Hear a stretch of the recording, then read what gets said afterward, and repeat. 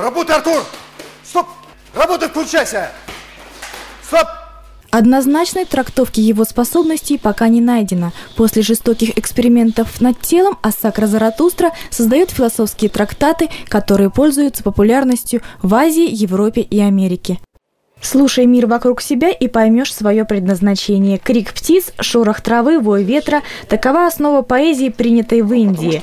Ассакра издал в России уже больше ста книг, но особым спросом пользуется в Америке. Мы волки, мы творцы войны, мы в нападении едины среди заснеженной пустыни.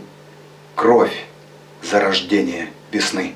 Убийцы устремятся к свету, и ястреб обернется резко среди сияния и блеска. Спасенных нету. Нападение на оператора всего лишь игра или элемент, предостерегающий обороны. Руку хозяина орлица Руна тоже, видимо, случайно перепутала с мясом для кормежки. Птицы здесь до лета, на излечении. Сейчас орлу опасности ждать неоткуда. Все лица знакомые, поэтому и поведение относительно спокойное. Поэзия птиц имеет важное значение для творчества Ассакры. Маэстро – это хищная птица, которая в сгустившихся сумерках испускает боевой крик, чтобы вернуть человеку веру в его судьбу. Это возможность человеку всегда восстать против страха, э, жить подлинной мужской жизнью, э, идти к солнцу. Спарринг. Здесь не играют в игрушки. Кто не проснулся, тот проиграл.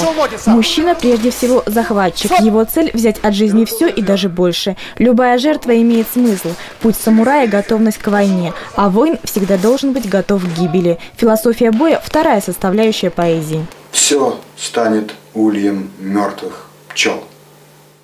Философия черного дракона. Ну, тут одна философия – воспитать бойцовский дух в теле в любом теле, независимо, будь то мужчина или женщина. Никто его не остановит. Прыжок в пропасть.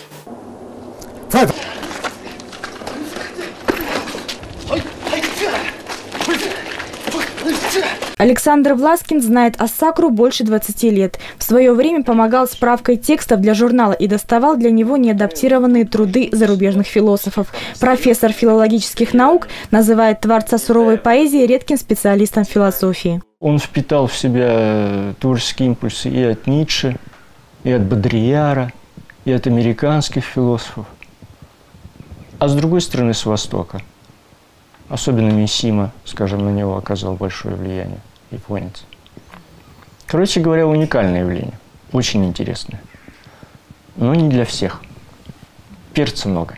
Строки его стихотворных хайку употребляют в качестве эпиграфов, а премией имени Асакры Заратустры награждают ведущих творцов всего земного шара, работающих в стиле поэзии Индии. Я повторяю, вот он философию знает как, как редко, редко какой специалист. И равных нет специалистов по философии западной, но определенно толка. Вот по философии агрессивной направленности. Смерть для меня победа. Евгения Кузнецова, Денис Гораль, ТНТ, Магнитогорск.